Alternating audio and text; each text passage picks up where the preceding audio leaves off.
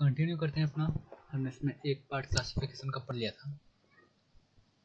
हाँ सॉरी हमने primary stocks पढ़ लिए थे पूरे ना? अब हम आते हैं सेडिमेंट्री रॉक्स पर। ठीक है। इग्नियस वर्ड का मीनिंग हमने देख लिया था और इग्नियस से ही हमें फायर ध्यान आ रहा है। इग्नि अग्नि उससे हमने काफ़ी सारे मीनिंग ड्राइव कर लिए थे ऑलरेडी पढ़ने से पहले। यहाँ पर देखने को क्या है। Sedimentary is derive from a Latin word which means settling down एक सेडिमेंटम वर्ड है, उससे बना हुआ जिसका मीनिंग होता है सेटलिंग डाउन कोई ऐसे पत्थर सेटल डाउन हो चुके हैं।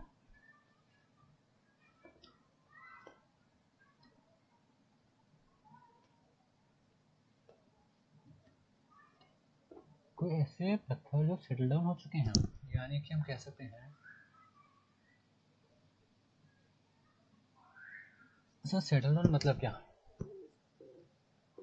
सेटलमेंट कैसे होता होगा पत्थरों का सर आपस में टकरा टकरा कर एडजस्टमेंट करा कर, सर, यानी जब सर वो आपस में टकराते होंगे एडजस्ट होते होंगे तो टूट फूट होती होगी, जिसको इरोजन बोलते हैं, इनकी लैंग्वेज में, है ना?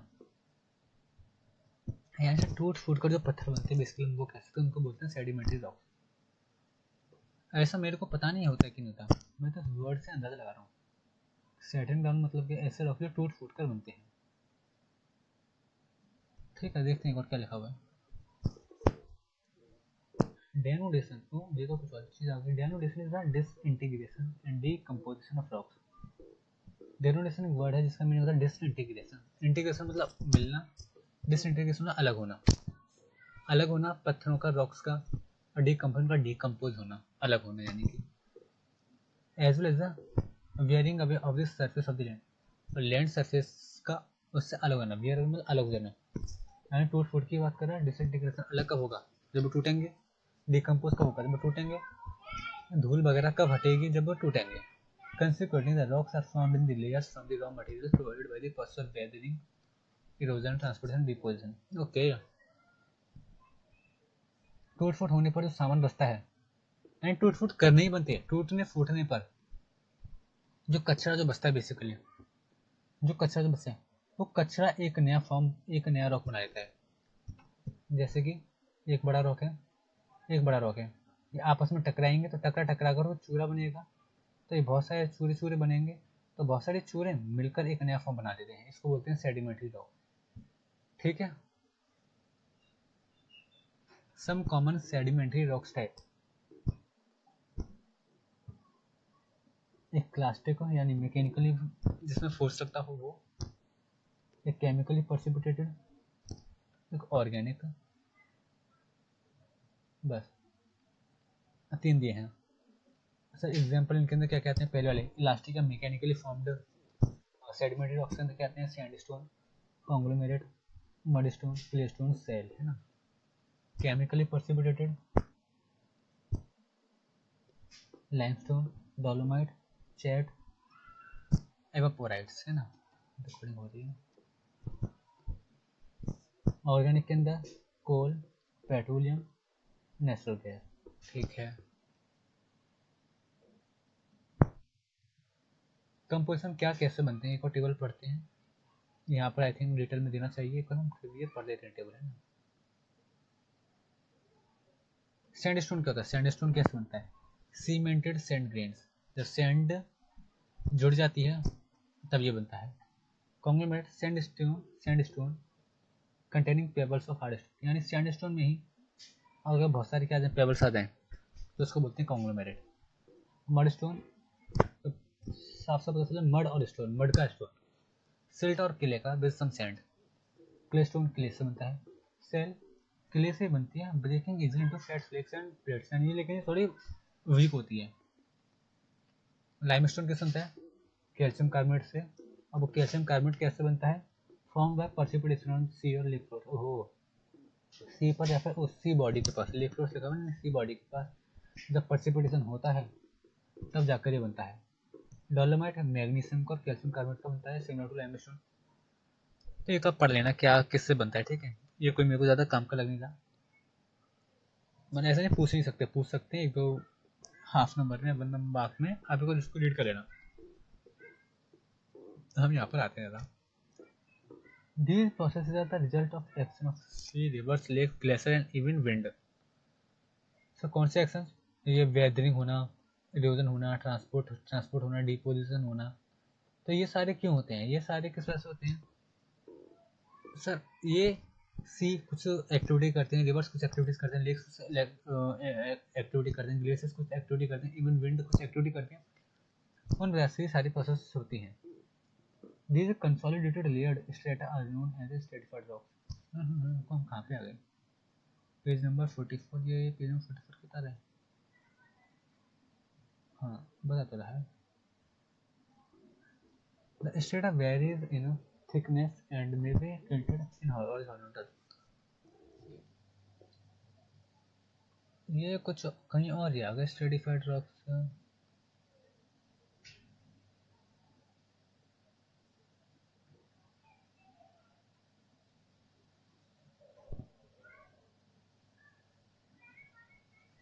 और पढ़ते हैं कृपा the sediments consist of loose particles of gravel अच्छा सेडिमेंट्स के तो सेडिमेंट जो होते हैं, उनके अंदर बहुत सारे लूज पार्टिकल्स होते हैं लाइक ग्रेवल्स के सेंड के। सिल्ट के और क्ले के, ठीक है? इन वेरियस प्रोपोर्शन यानी कि प्रोपोर्शन उनका डिसाइडेड नहीं है। हैंड्स आर पोरस और परमेबल इसलिए इनको पोरस और परमेबल भी कहा जाता है। इसलिए पोरस भी होते परमेबल भी होते हैं। परमेबल जिसके कहीं पे भी एंट्री कर ले जाए है ना? The loose particles get consolidated जो लूज पार्टिकल्स होते हैं, वो एक साथ इकट्ठे हो जाते हैं और कॉम्पैक्टेड इनटू हार्ड रॉक्स और हार्ड रॉक्स के कनेक्शन में आ जाते हैं। By the presence of cementing substance cementing presence substance के थ्रू लाइक लाइम और the presence of overlaying deposit they are separated by bedding planes फिर इनको सेपरेट करके जाता है बेडिंग प्लेन्स के थ्रू ये एकदम अलग से टॉपिक आ गया एकदम से, पता नहीं क्यों ये करा रहे हैं। Lithification is the cementation compactation, and hardening of sediments into sedimentary rocks. अब जो प्रोसेस है, जो बेसिकली लूज लूज आइटम्स को सेडिमेंट्री रॉक्स में कन्वर्ट करती है, उस प्रोजेक्ट उस प्रोसेस को बेसिकली बोलते हैं lithification sedimentary rocks contain sedimentary rocks cover 75% percent of the surface of the continents जो हमारे कॉन्टिनेंट्स का ऑलमोस्ट 75% परसेंट कवर करते हैं। Sedimentary rocks are also called secondary rocks इनको सेकेंडरी रॉक्स भी बोलते हैं डेराइव्ड रॉक्स भी कहते हैं। डेराइव मतलब का डेराइव मतलब कहीं से बनाना। कहीं से बनाना। तो they are derived by the denudation of pre existing primary और पेरेंट रॉक्स सर ये ऑलरेडी बनाए जाते हैं। बाय दी ब्रेकिंग बोल सकते हैं, तोड़ना फोड़ना तब ऊपर पढ़ा था मैंने। तो जब उसको तोड़ा फोड़ तोड़ा फोड़ा जाता है प्राइमरी या फिर कह सकते प्री एग्जिस्टिंग ऑलरेडी जो एग्जिस्टिंग रॉक्स है उनको तोड़कर जो बनाए जाते हैं उनको बोलते हैं ड्राइव रॉक्स और ड्राइव रॉक्स यानी सर ये पहले थे उनके बाद ये बने हैं तो इसको सेकेंडरी रॉक्स भी बोला जाता है। As the sediments are deposited in water bodies जैसे ही सेडिमेंट्स वाटर बॉडीज में इकट्ठे हो जाते हैं they get sorted out according to their size वो अपने साइज़ के अकॉर्डिंग सॉर्ट हो जाते हैं। The sediments accumulate in different layers सब वो डिफरेंट डिफरेंट लेयर्स में इकट्ठे होते हैं, उसको स्टेटा ही बोलते हैं। Arrange one above the other एक के ऊपर, एक के ऊपर, एक वो अरेंज हो जाते हैं। है ना, एक लेयर बना लेते हैं बेसिकली ईच लेयर हर लेयर को स्टेटा भी बोलते हैं। हर layer each layer has particles of a given size her layer के के पार्टिकल्स होते हैं पार्टिकल्स ऑफ़ उनके एक साइज़ होते हैं basically therefore sedimentary rocks are also called stratified rocks इसलिए उनको स्ट्रेटिफाइड रॉक्स बोला जाता है। नाम ही बताएँ चलते another property of sedimentary rocks is the presence of remains of plants and animals between the layers of sediment. Sir क्योंकि ये पत्थर एक तरह से लेयर बनाता है लेयर के बीच में कुछ भी आ सकता है। तो वही वो कहने के अंदर रिमेन्स रिमेन्स अवशेष आपसे मतलब किसी इंसान की डेथ डेथ के बाद जो बचता है उसका राख वगैरह। तो बहुत कह रहा है प्लांट्स के अवशेष या एनिमल्स के रिमेन्स वहाँ पर होते हैं। ठीक है? These remains get preserved between the strata of sediment rocks वहाँ पर प्रिजर्व रहते हैं। दीज ऑर्गेनिक रिमेन्स और this skeleton impression are called fossils ये जो रिमेन्स होते हैं ऑर्गेनिक और नेचुरल ठीक है? या फिर उनके जो स्केलेटन इंप्रेशन होते हैं, हो सकता है किसके बोन्स वगैरह भी हों तो इनको बोलते हैं फॉसिल्स इनको क्या बोलते हैं?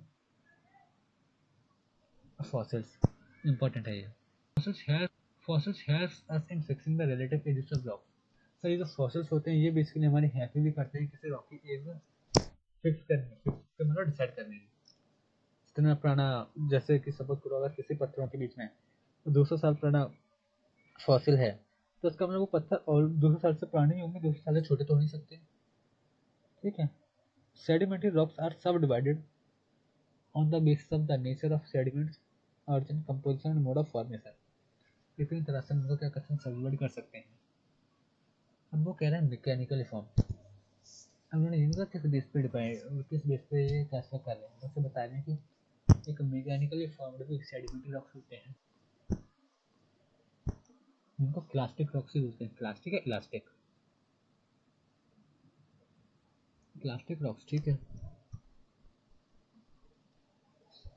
Mechanical sediments are derived by the process of denudation of the land land को डेनुडेशन करके डेनुडेशन करके जो सेडिमेंट मिलता है, उसको बोलते हैं mechanical sediment these are called the detrital detrital sediments और क्लास्टिक सेडिमेंट्स ठीक है?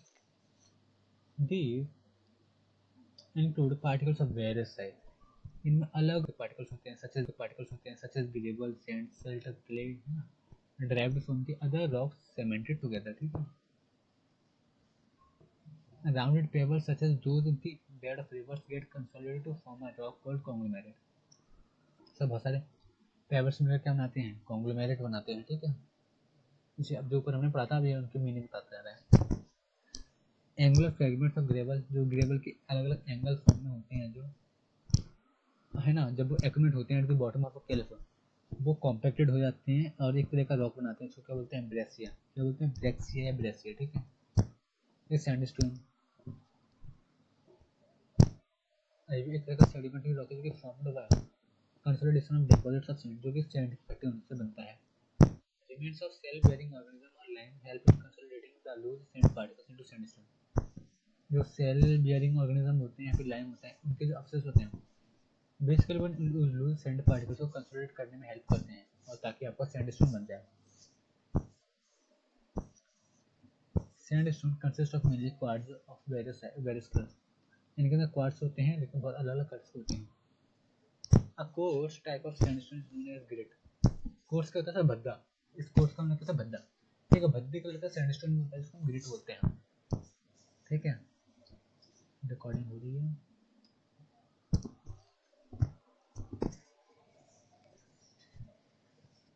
Deposits of clay get hardened to form a rock called shell or mudstone so, जब बहुत सारे कीचड़ किले गीली मिट्टी एक जगह पे इकट्ठी हो जाती है और हार्ड हो जाती है तो इससे रॉक बनता है? इसको बोलते हैं या फिर सेल या फिर mudstone shale is smooth shale थोड़ा स्मूथ होता है सॉफ्ट रॉक होता है, बीच tendency to break to thin जिसकी टेंडेंसी होती है इसकी हैबिट होती है कि वो छोटे छोटे रेट्स में डिवाइड होता है. ठीक है? Siltstone siltstone consist of deposit of silt ये सिल्ट के डिपॉजिट से बनता है. They consist of particles transition size between clay and sand यानी क्ले और सैंड के बीच का साइज़ होता है बेसिकली ऐसे साइज़ के पार्टिकल्स से मिलकर बने होते हैं and these mechanical sediments may also be classified on the basis of the agent which deposited them deposits laid down by rivers are called alluvial sediments देखो वो कह रहा है ये सारे मैकेनिकल सेडिमेंट्स के बहुत एग्जांपल्स है ठीक है लेकिन कह रहा है इसको इनको ना आप और फर्दर क्लास में डिवाइड वो क्लासिफाई कर सकते हो या किस बेस पे क्लासिफाई करेंगे on the base of agent which deposited them यानी वो लोग जो इनको डिपॉजिट करने में हेल्प करते हैं। यानी ये तो हमने पढ़ी लिया कि जो सारे के सारे, ये कुछ ना किस तरह की मिट्टी कीचड़ है, पत्थर जो इकट्ठे हो जाते हैं। फिर उनसे जो बनता है रॉक उनको ये वाले रॉक से बोलते हैं। तो वो कह रहे हैं, ये सब कौन इकट्ठा करता है? जो इकट्ठा करता है उनके बेस पर भी। जो इनको कंसोलिडेट करता है, उनके बेस पर भी इनको क्लासीफाई कर सकते हैं। जो इनको इकट्ठा करता है जिनको इनको कंसोलिडेट करने में हेल्प करता है, उनको बोला गया यहाँ पे एजेंट है ना? तो एजेंट के बेस पर भी इनको क्लासीफाई किया जा सकता है? तो पहले क्या डिपॉजिट्स लेट डाउन में रिवर्स सर जहाँ पे रिवर उनकी हेल्प करती है तो उनको बोला जाता है एलोबियल सेडिमेंट्स दो लेट डाउन में ग्लेशियर्स जहाँ पे इनकी हेल्प ग्लेशियर्स करते हैं, उनको बोला जाता है मोरेन जहाँ पे इनकी हेल्प विंड करती है, उनको सैंड ड्यून्स हो जाता है ठीक है? Fine wind borne sediments are loose as loess deposits तो बहुत अच्छी हवा चल रही है तो उनको लॉइस डिपॉजिट्स लॉइस को और भी क्या बोलते हैं? एओलियन डिपॉजिट ओहो, कैसे नाम है? It is soft and porous and is extensive in North China North China में बहुत ज़्यादा मिलता है। वेव डिपॉजिट सेडिमेंट्स जहाँ पे वेव ज़्यादा हेल्प करती हैं, उनसे वो बोलते हैं gravel sand and slate slate है ना? ये इंपॉर्टेंट है। मतलब इंपॉर्टेंट इसलिए नहीं है कि इसके अंदर कोई एक लाइन इंपॉर्टेंट है, पूरी पैराग्राफ इंपॉर्टेंट है इसका हर पॉइंट में अलग अलग डेफिनेशन दी हुई है, हर अलग तरह की। तब आपको पता होनी चाहिए, ठीक है? तो ये तो टाइप वन हो गया, उसका। सेडिमेंट्री का। ये टाइप टू है। केमिकल मैकेनिकल का, ये केमिकली फॉर्म सेडिमेंट्री रॉक्स है केमिकली फॉर्म यानी कि केमिकल्स बनाते होंगे इनको। देखते हैं। Chemical sediments are commonly formed by the process of evaporation और वाटर नहीं process of evaporation of water containing salt in solution okay ऐसे रॉक्स हैं जो कैसे बनाए जाते हैं। By the process evaporation of water water को इवापोरेट करके और उस वाटर में कौन चाहिए उस वाटर में सॉल्ट सॉल्यूशन होना चाहिए। ओके और उस वाटर में सॉल्ट होना चाहिए बेसिकली सर ये कैसे पत्थर हो गए? देखते हैं। इन डेजर्ट रीजन डेजर्ट में क्या होता है? सैलो लेक्स जो बहुत उथली उथली लेक्स होती हैं। Get evaporated leaving behind layer of salt सब वो लेक सूख जाती है डेजर्ट में या ना? इवापोरेट हो जाती हैं। और leaving behind a layer of salt अब बहुत सारा सॉल्ट जो उनके अंदर होता है वो छोड़ जाती है। On the surface these get consolidated into sedimentary rocks okay और ये सॉल्ट एक टाइम पर जम जाता है कंसोलिडेट हो जाता है और एक तरह का रॉक बनाता है, जो सेडिमेंट्री रॉक ही कहलाता है। और इसी को बोलते हैं केमिकली फॉर्म्ड सेडिमेंट्री रॉक है ना? Rock salt is an example अब वो कहते हैं सेडिमेंट्री रॉक को नाम क्या देते हैं? रॉक सॉल्ट तो फिर वो कहते हैं रॉक सॉल्ट रॉक सॉल्ट हो गया तो रॉक सॉल्ट एक तरह का एग्जांपल है chemically form chemically formed sedimentary rock का। सर जनरली कहाँ पर पाया जाता है? कोई कह रहे हैं ये कॉमन है। कॉमन है ये डेड सी में कैस्पियन सी में। अरल सी संभल लेकिन राजस्थान अपनी राजस्थान में भी है। ठीक है, यहाँ पे कॉमन है ये। जिप्सम ऑफ़ कैल्शियम जिप्सम भी है कैल्शियम सल्फेट भी operand from the evaporation salt lakes जब लेक सूख जाती हैं तो अब ये बन जाता है।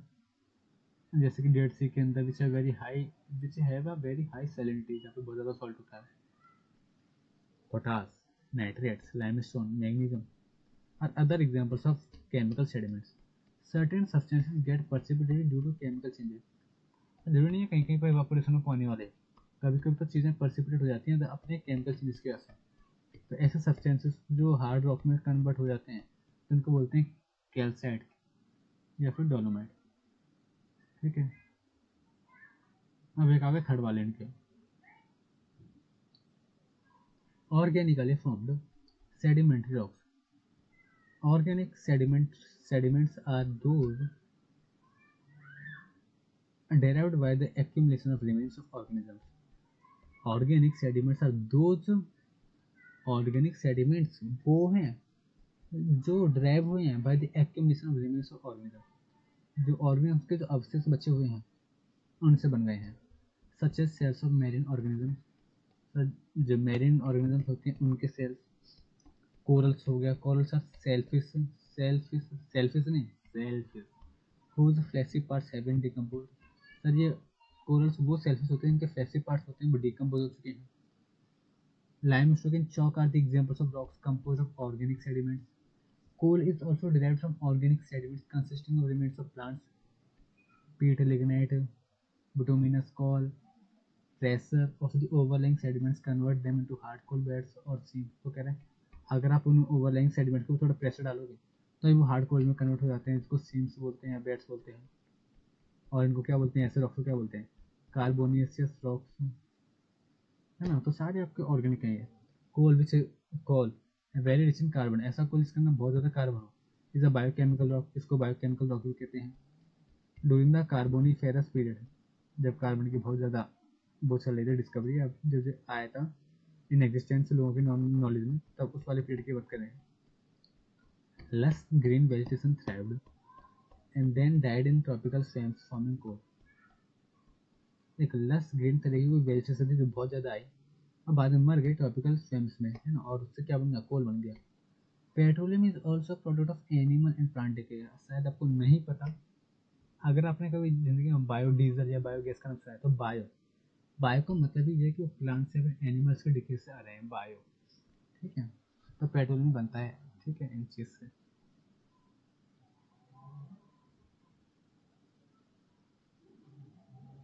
आई थिंक हमारे दो हो गए। इग्निस रॉक हो गया। सेडिमेंट्री रॉक हो गया, ठीक है?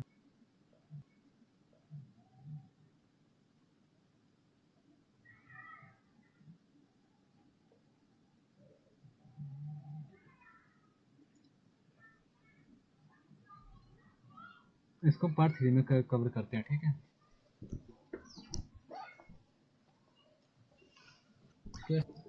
क्वेश्चन सबसे देख लेते हैं, इसके साथ होमवर्क में आपको दे दूँगा ना।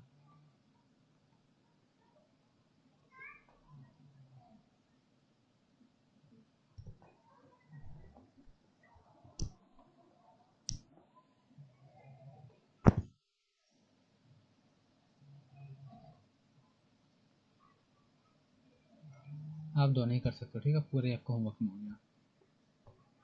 ये भी आप कर सकते हो। वाटर फॉसल्स एंड वाटर जैसे भी आप कर सकते हो। Name the agents responsible for the deposition बहुत सारा पूरा पैराग्राफ इंपॉर्टेंट मार्क आया था। तब यहाँ पे कुछ एजेंट्स के नाम पूछा है। ये नहीं पूछा किसके लिए क्या है। ठीक है, बस नाम पूछा है। बैंड हो गया लेक्स हो गई वेव्स हो गई। ठीक है, वो लिखनी है आपको। Name the agents involved in the formation of sedimentary rock agents responsible for दोनों अलग अलग हैं, दोनों में एक बार दिमाग लगाना। पढ़ना दोनों में कितना डिफरेंस है? केवल यहाँ पे इतना वर्ड चेंज है। अब मैंने जो ऊपर बोला, मैं उसको वापस लेता हूँ।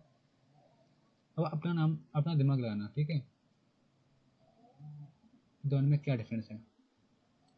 ठीक है? What is meant by electrification ये बताइए। हावर केमिकल ये भी उसका ऑर्गेनिक आप कह लोगे? Why are sedimentary rocks valuable track करना।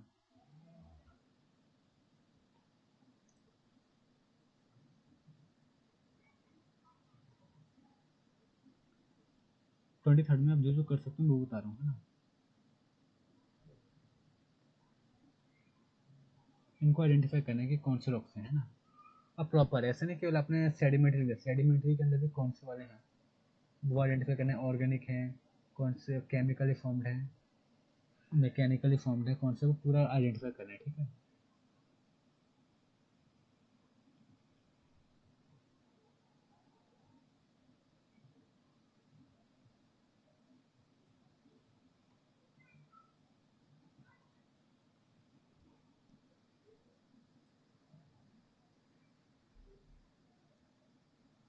मैंने दिया नहीं था पहले। मैंने यहाँ से निकल गया ये।